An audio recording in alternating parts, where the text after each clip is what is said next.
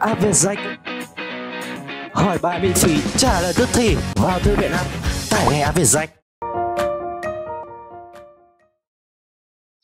Xin chào tất cả các em học sinh thân mến. Chào mừng các em đã đến với khóa học trợ câu hỏi trong sách Giáo dục Kinh tế và Pháp luật lớp 11, bộ sách mang tên Cánh diều. Chúng ta sẽ đến với bài số 4, Việc làm. Chúng mình hãy cùng nhau bắt đầu nào. Chúng mình sẽ cùng nhau bước sang câu hỏi mở đầu trang 26. Em hãy liệt kê những việc làm có nhu cầu tuyển dụng cao hiện nay và chia sẻ với các bạn về việc làm mà em yêu thích. Chúng ta có thể dựa vào kiến thức của bản thân để liệt kê những cái việc làm mà có nhu cầu tuyển dụng cao hiện nay và chúng ta sẽ chia sẻ với các bạn về việc làm mà chúng ta cảm thấy yêu thích và muốn mong muốn làm trong tương lai. Vậy, theo bản tin thị trường lao động của Việt Nam quý 3 năm 2022, năm nghề có nhu cầu tuyển dụng nhiều nhất đó là tài chính, kế toán, nhân viên phần mềm, ngân hàng và marketing. Dự báo nhu cầu việc làm sẽ tăng ở một số ngành, sản xuất phương tiện vận tải, sản xuất sản phẩm điện tử. Việc làm mà em yêu thích đó là kỹ sư công nghệ thông tin. Ta sẽ đến với câu hỏi trang 27. Từ các thông tin trên, em hãy cho biết việc làm bao gồm những hoạt động nào? Chúng ta sẽ cùng nhau quan sát 3 thông tin ở đây.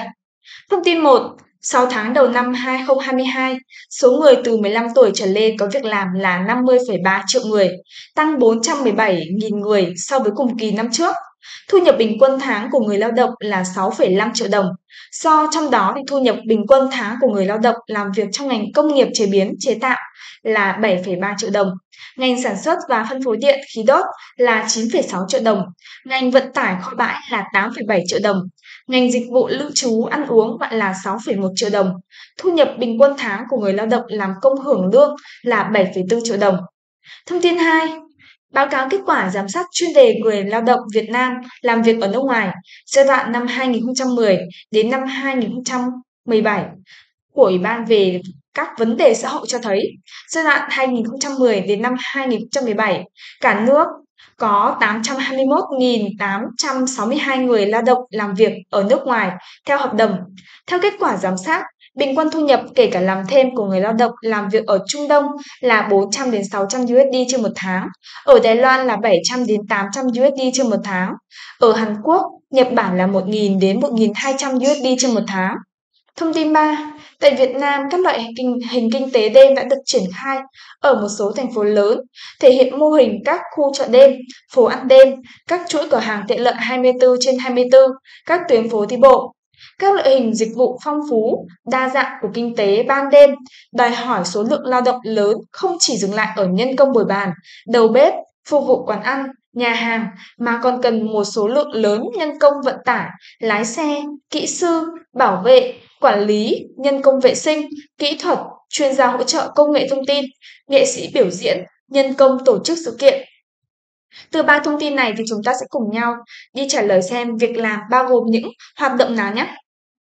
Nội dung mà các thông tin trên cho thấy việc làm bao gồm những hoạt động lao động mà tạo ra thu nhập cho người lao động, không bị pháp luật nghiêm cấm, tồn tại dưới nhiều hình thức khác nhau như là việc làm toàn thời gian, việc làm bán thời gian, không bị giới hạn bởi không gian và thời gian. Đó là các việc mà ở ba thông tin này đã chỉ ra. Ta sẽ đến với ý B. Từ thông tin 1, 2, em hãy cho biết người lao động nhận được gì khi mà có việc làm. Sau khi quan sát thông tin 1 và 2 ở ý A rồi, chúng ta sẽ cùng nhau đi trả lời xem người lao động đã nhận được gì khi mà có việc làm nhé. Khi mà có việc làm thì người lao động sẽ có thu nhập, bao gồm có tiền lương, tiền thưởng và các khoản trợ cấp khác. Ta sẽ đến với ý C. Theo em, thế nào là việc làm?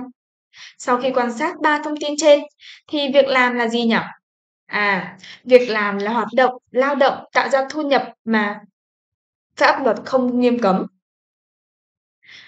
Ta sẽ đến với câu hỏi trang 28 ý A. Em hãy cho biết những chủ thể kinh tế nào tham gia phiên sàn giao dịch việc làm. Ta có hai thông tin như sau. Thông tin 1. Trong 5 tháng đầu năm 2022, Sở Lao động Thương binh và Xã hội tỉnh Đồng Tháp đã tổ chức 10 phiên giao dịch việc làm. Ngoài ra, thì Sở đã phối hợp với 3 doanh nghiệp có nhu cầu tuyển số lượng lớn lao động để tổ chức các phiên giao dịch việc làm tại doanh nghiệp. Tổng các phiên giao dịch việc làm giải quyết cho 23.549 lao động có việc làm ổn định. Thông tin 2, sáng ngày 19 tháng 9 tại Hà Nội, Trung tâm Dịch vụ Việc làm Hà Nội phối hợp với Trung tâm Dịch vụ Việc làm tại các tỉnh Giang, Bắc Ninh, Ninh Bình, Thái Nguyên, Lai Châu, Bắc Cạn, Lạng Sơn tổ chức phiên giao dịch việc làm trực tuyến. Tại phiên giao dịch thì có 83 doanh nghiệp tham gia với 11.523 chỉ tiêu việc làm tuyển dụng. Trong số 11.523 chỉ tiêu việc làm tuyển dụng, các vị trí việc làm có thu nhập từ 15 triệu đồng trở lên chiếm 19%. Các vị trí việc làm có thu nhập từ 10 triệu đồng đến dưới 15 triệu đồng chiếm tỷ lệ 37%. Các vị trí việc làm có thu nhập dưới 7 triệu đồng chiếm tỷ lệ 16% và các vị trí tuyển dụng lương theo thỏa thuận chiếm tỷ lệ 10%. Từ đó chúng ta hãy cho biết những chủ thể kinh tế nào tham gia phiên sàn giao dịch việc làm. À ta thấy rằng những chủ thể kinh tế mà tham gia vào phiên sàn việc làm bao gồm có các doanh nghiệp, cơ sở sản xuất có nhu cầu tuyển dụng lao động, người lao động có nhu cầu tìm việc làm, các đơn vị trung gian như là Sở Lao động, Thương binh và Xã hội, các trung tâm dịch vụ việc làm.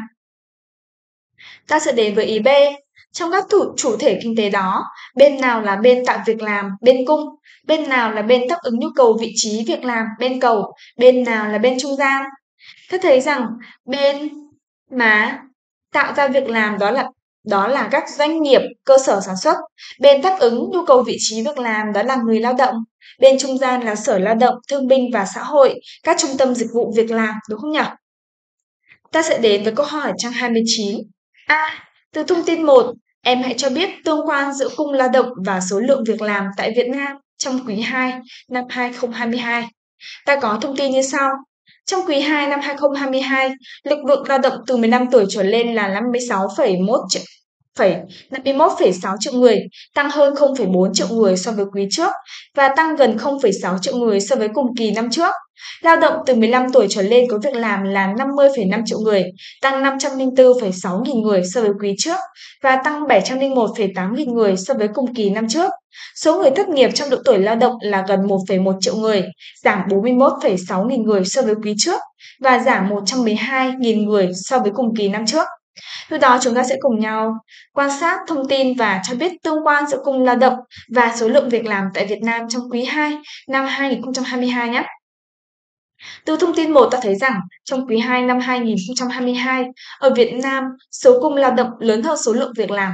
Cụ thể, số cung lao động là 51,6 triệu người, số lượng việc làm là 50,5 triệu việc làm. Từ đó ta thấy rằng sự lệch pha giữa số cung lao động và số lượng việc làm này đã dẫn tới tình trạng gần 1,1 triệu người trong độ tuổi lao động bị thất nghiệp. Tiếp theo ta sẽ đến với ý B. Từ thông tin 2, hãy cho biết thông tin thị trường lao động, dịch vụ việc làm có vai trò như thế nào trong việc gắn kết thị trường việc làm với thị trường lao động. Ta có thông tin hai như sau.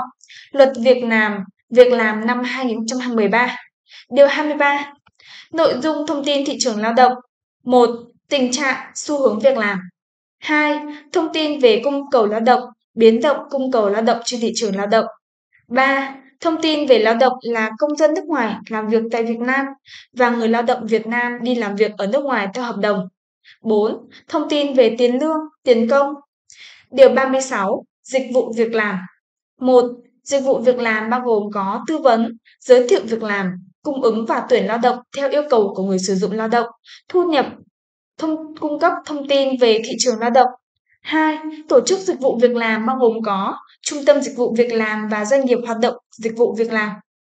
Từ đó thì chúng ta sẽ cùng nhau cho biết xem thông tin thị trường lao động, dịch vụ việc làm có vai trò như thế nào trong việc gắn kết thị trường việc làm với thị trường lao động. Ta thấy rằng có vai trò vô cùng quan trọng trong việc kết nối thị trường việc làm với người lao động, bởi vì từ đó sẽ góp phần giảm tình trạng thất nghiệp.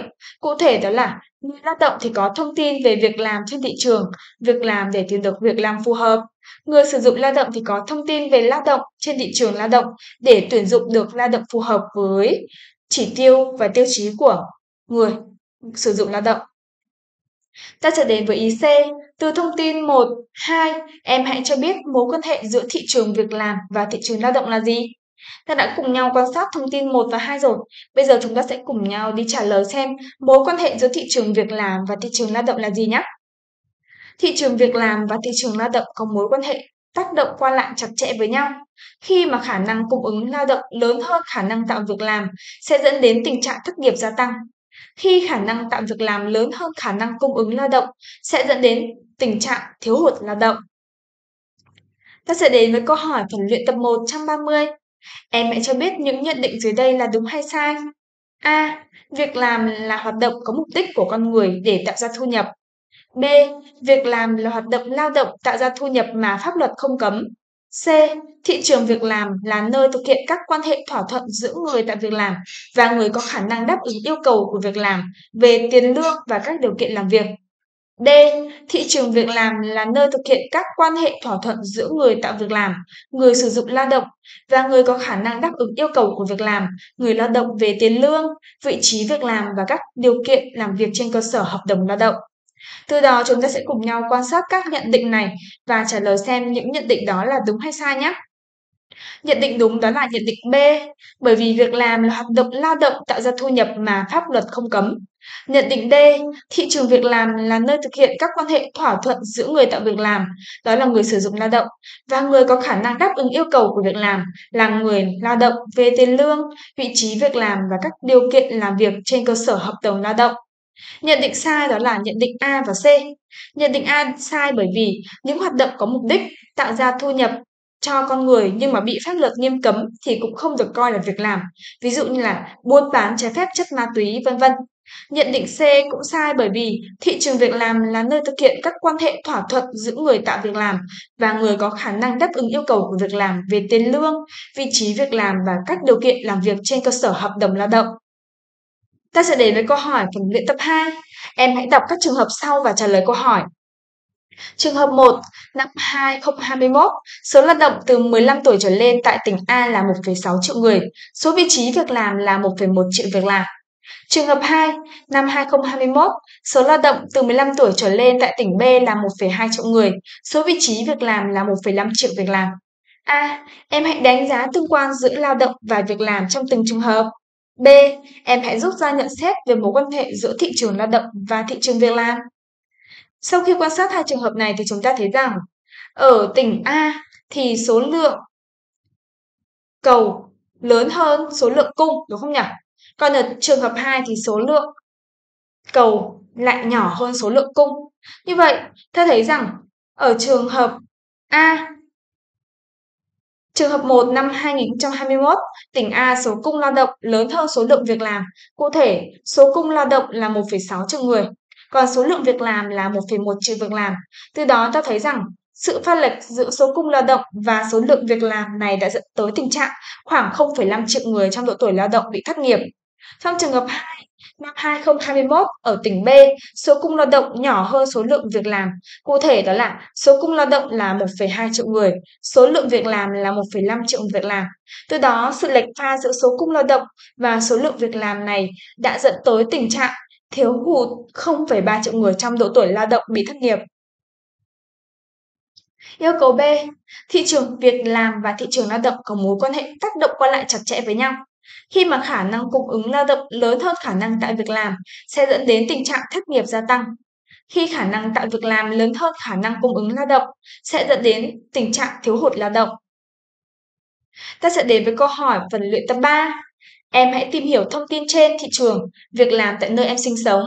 Hãy xác định mục tiêu nghề nghiệp cho mình, tự đánh giá điểm mạnh, điểm yếu của bản thân, xây dựng kế hoạch, hoàn thiện bản thân để lựa chọn được nghề nghiệp, việc làm phù hợp trong tương lai và chia sẻ với các bạn trong lớp. Chúng ta sẽ cùng nhau đi tìm hiểu những cái thông tin mà chúng ta đã biết về thị trường việc làm tại nơi chúng ta sinh sống và từ đó sẽ xác định mục tiêu nghề nghiệp của mình. Cô có gợi ý về kế hoạch học tập và rèn luyện theo các bước của chúng ta có thể làm theo nhé. Bước 1 đó là định hướng lựa chọn ngành nghề. Xác định nhóm ngành nghề và nghề nghiệp cụ thể mà bản thân mong muốn làm trong tương lai. Tìm hiểu các yêu cầu về phẩm chất, năng lực của ngành nghề đã lựa chọn. Tìm hiểu các thông tin về các trường đào tạo liên quan đến ngành nghề đã lựa chọn. Xác định những môn học liên quan đến ngành nghề đã lựa chọn. Bước 2.